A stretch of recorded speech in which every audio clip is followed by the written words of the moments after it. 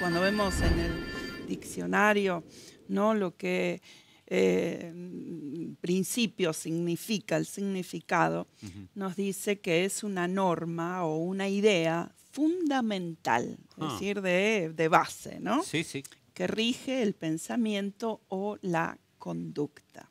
Y hay un principio que, del cual me gustaría compartir en este programa, que tiene que ver con la alabanza, Mm. con la adoración. Cuando alabamos y adoramos al Señor, es un tiempo de celebración, es un tiempo de edificarnos, es un tiempo donde al exaltarlo a Él, los más beneficiados somos nosotros. No es que Dios eh, esté necesitando de... No, no, no. Él sabe que los que somos Beneficiados. beneficiados Somos somos, nosotros. nosotros. En primer lugar, honramos a Dios. Y qué lindo que es poder no solamente llevar, tener este pr- principio en lo espiritual, en alabar al Señor, sino también entre nosotros, ¿no?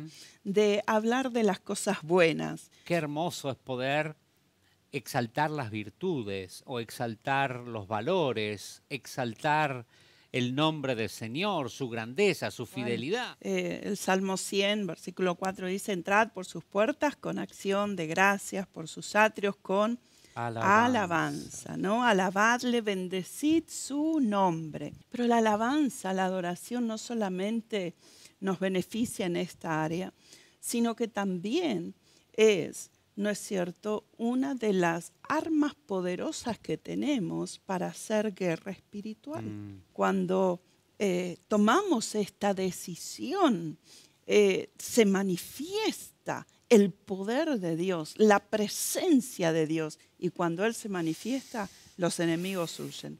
Cuando Él se manifiesta, Amén. su gloria desciende. Cuando Él se hace presente, no hay cadenas que puedan mantenernos, no hay yugos que puedan oprimirnos, porque el Señor entra en acción y veremos, vemos su gloria en medio nuestro. Creo que en estos tiempos no he visto muchos cristianos que su gozo, su alegría, su Mm. estado de ánimo depende de lo que pase. Eh, si Dios está trayendo bendición y obrando a favor de mi vida, todo bien.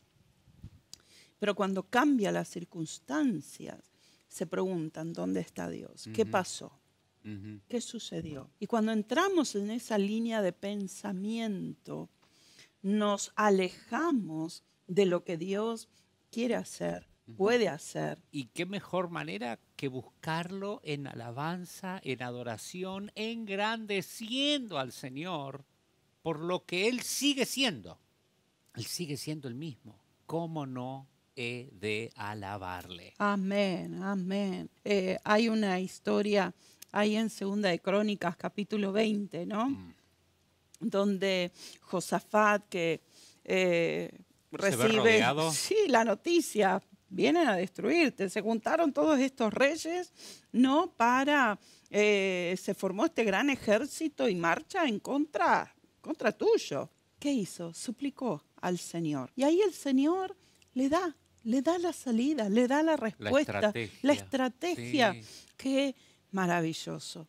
Y el Señor les dio la victoria. El Señor trajo la salida. Vuelvo al Salmo 145, el versículo 10 dice, Te alaben Jehová tus obras y tus santos te bendigan. La gloria de tu reino digan, hablen de tu poder, para hacer saber a todos los hijos de los hombres los poderosos hechos y la gloria de la magnificencia de su reino. Estaba inspirado David en este salmo.